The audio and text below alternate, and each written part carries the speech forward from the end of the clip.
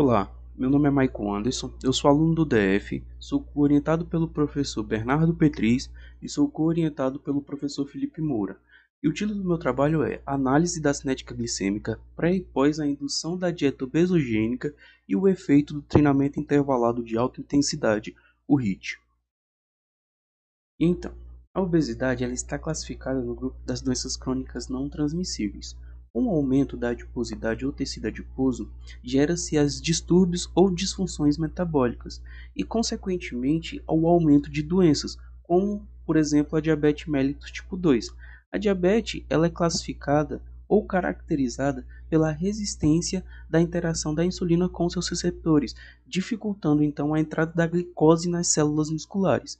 Dessa forma, tem sido estudado o exercício físico como forma de tratamento não farmacológico para melhora tanto da obesidade como da diabetes. Com isso, o objetivo do meu estudo foi averiguar o efeito da dieta obesogênica e o exercício e o treinamento intervalado de alta intensidade na cinética glicêmica.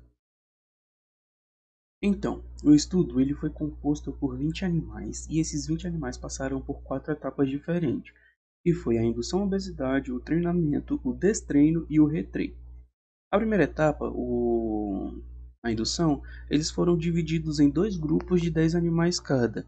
O primeiro grupo recebeu a dieta padrão, que é a IN93, e o segundo grupo recebeu a dieta obesogênica, que é a Western Diet. Eles passaram por um período de indução à obesidade de 10 semanas. A segunda etapa que eles passaram foi o período de treinamento. Foram 6 semanas de treinamento, recebendo o estímulo do HIIT, que é o treinamento intervalado de alta intensidade. A terceira etapa, a, a etapa do destreino, eles passaram, eles não receberam nenhum estímulo de treinamento. E a quarta etapa, que é a etapa do retreino, eles passaram novamente pelo período de treinamento, assim como a segunda etapa. Para o treinamento, os animais passaram por um teste incremental de velocidade para detecção da potência aeróbia e para designar a velocidade em que cada animal iria treinar. Teve a durabilidade de seis semanas o treinamento físico, onde eles treinavam três vezes nas semanas. Cada sessão era dividida da seguinte forma: dois minutos de aquecimento. Após o aquecimento, um minuto a 90% da sua velocidade e um minuto de descansativa a 50% da sua velocidade máxima. O teste de tolerância à glicose foi realizado da seguinte forma: os animais passaram 6 horas em jejum. A solução preparada para ele foi 10% de glicose diluída em PBS. O volume que cada animal recebeu, injetado em cada animal, foi 10 vezes o peso corporal dele, ou seja, se o animal tinha 25 gramas, ele recebeu uma dose de 250 microlitros de glicose. O período inicial foi constituído da seguinte forma: foi realizado um corte né, na cauda do animal, é coletado para o valor o sangue para o valor pré, do valor de referência. Após essa coleta, foi injetado via intraperitoneal a dose que cada animal deveria receber. E após aplicada essa dose, foi coletado novamente o sangue dele nos períodos de 15, 30, 60, 90 e 120 minutos para averiguação da cinética glicêmica dos, de cada animal. Nesse primeiro gráfico mostra o período baseline, que é o período inicial onde os animais chegaram. Pode-se ver que o comportamento da cinética glicêmica dos mesmos são similares entre os grupos. Já o segundo, o segundo gráfico, que é o período da pós-indução, a gente pode perceber que no minuto zero os dois grupos eles são similares, têm os valores de referência parecidos.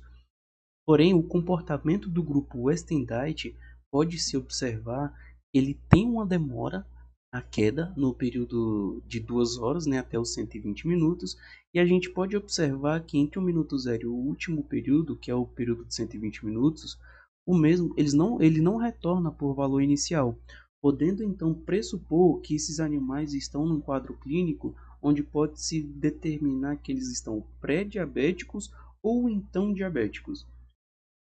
Dessa forma, concluímos que após 10 semanas de indução à obesidade, houve uma alteração na cinética glicêmica, podendo ter alterado o quadro clínico dos animais, estando em estado pré ou diabético, e pressupomos que o exercício ele também pode alterar a cinética glicêmica, revertendo esse quadro clínico, podendo voltar com os valores iniciais ou então melhores do que os valores iniciais, dado visto que as próximas etapas ainda estão por ocorrer e a gente ainda não possui esses resultados concretos. Dessa forma, eu quero agradecer a oportunidade de ter trabalhado, a oportunidade de estar aqui apresentando e queria também agradecer a minha equipe, aos meus professores por estar comigo nessa caminhada e nessa jornada. Obrigado e fiquem na paz.